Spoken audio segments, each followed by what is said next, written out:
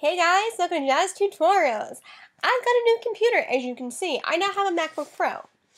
And, um, so yeah, with this MacBook Pro comes Photoshop CS5. Oh yes, guys and dolls, we have CS5.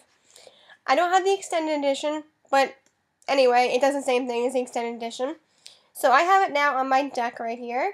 We're going to open it, and I'm going to show you now a cool little 3D effect that I found very awesome. So I'm going to open a new canvas of any size. I'm using a small size just for the heck of it, but you can use whatever size you'd like.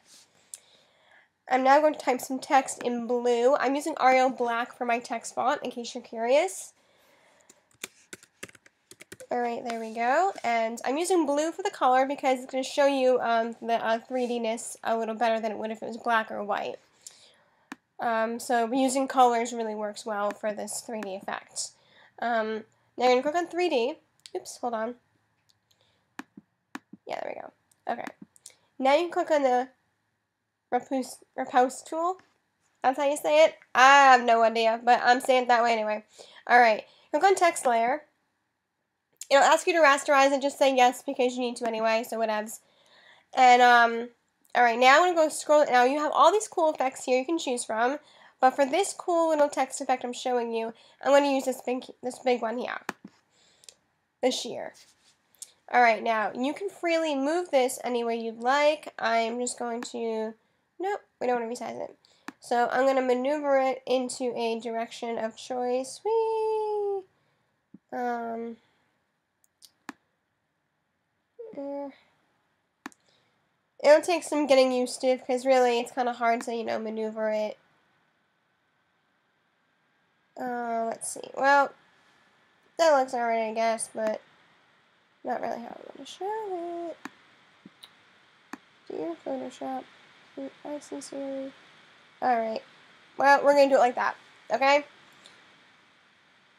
Not really how I want to show it, but oh well. Okay. So now we're going to click on the word all. And you're going to select this grassy type color right here. And after that, you're going to click on the word sides, and you're going to select this dark brown color here, which will result in dirt. Oh, yes, we have it. And you're going to change them back to dirt as well, just so that in case you maneuver it, you'll see it. Hello. Alright, there we go. And you can click OK for all set, or if you want to maneuver your um, text a little more, you can. Um, I like it like this. So click OK, you're good to go, and look at that. Okay, now once you have this done, you're free to go any any any direction you want. Excuse me. You can now add flowers, trees, anything you'd like as a background to make it look awesome.